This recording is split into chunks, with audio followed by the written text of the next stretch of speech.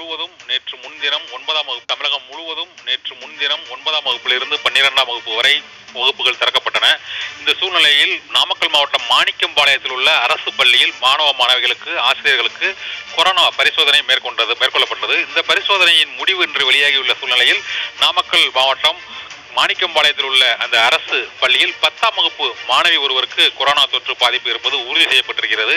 இதைத் தொடர்ந்து மற்ற ஒரு தொண்ணூறுக்கும் மேற்பட்ட மாணவ மாணவிகள் ஆசிரியர்கள் மற்றும் பள்ளிக்கூடத்தில் பணிபுரியும் ஊழியர்கள் உள்ளிட்டோருக்கும் இந்த கொரோனா பரிசோதனை மேற்கொள்ளப்பட்டிருக்கிறது. அவர்களின் முடிவும் எதிர்நோக்கப்படுகிறது. பள்ளிகள் திறக்கப்பட்டுள்ள ஒரு சூழ்நிலையில் நாமக்கல் மாவட்டத்தில் ஏற்கனவே நாமக்கல் கோவை மண்டலத்தை பொறுத்தவரை இந்த கொரோனா பாதிப்பு கேரளாவை ஒட்டியுள்ள எல்லையோர மாவட்டங்களில் கொரோனா பாதிப்பு சற்று அதிகமாக இருப்பதாகவே தமிழக அரசின் சுகாதாரத்துறை எச்சரிக்கை விடுத்திருந்தது. இருந்த போதிலும் அங்கு சுழற்சி முறையில் வகுப்புகள் நடத்தப்பட்ட மாணவி ஒருவருக்கு கொரோனா தொற்று உறுதியாக இருப்பதை ஒட்டி அந்த வகுப்பில் உள்ள மற்ற மாணவிகளுக்கான அந்த கொரோனா பரிசோதனை முடிவுகளும் எதிர்நோக்கி கா- பரிசீலனையில் உள்ளன. அதை ஆய்வு செய்யப்படுகிறது. இதையடுத்து அங்கு அந்த அரசு பள்ளியில் மாணிக்கம்பாளையத்தில் உள்ள அரசு பள்ளியில் உள்ள மற்ற வகுப்புகளிலும் இந்த சுகாதார கொரோனா முன்னெச்சரிக்கை நடவடிக்கைகள் தீவிரப்படுத்தப்பட்டிருக்கின்றன.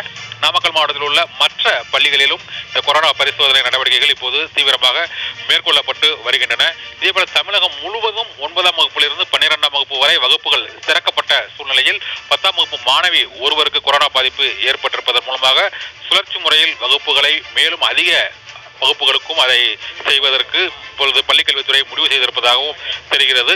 ஒன்பது பத்து பதினொன்று பன்னிரண்டு ஆகிய நான்கு வகுப்புகளில் பயிலும் மாணவிகளுக்கு மாணவ மாணவிகளுக்கு மீண்டும் கொரோனா தொற்று பரவல் ஏற்பட்டுவிடக்கூடாது என்ற அச்சமும் அதனால் மத்திய சுகாதாரத்துறையின் அறிவுறுத்தலுக்கு இணங்க தமிழக சுகாதாரத்துறை பல்வேறு முன்னெச்சரிக்கை நடவடிக்கைகளை மேற்கொண்டு வருகிறது.